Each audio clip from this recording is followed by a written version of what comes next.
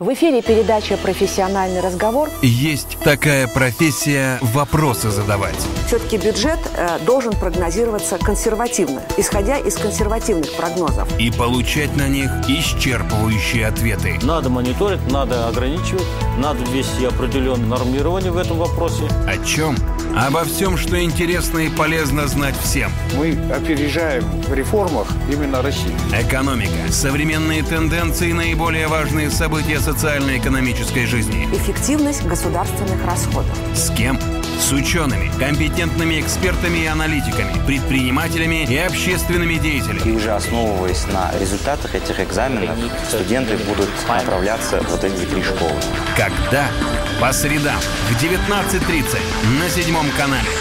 Профессиональный разговор с Жанной Ертлесовой.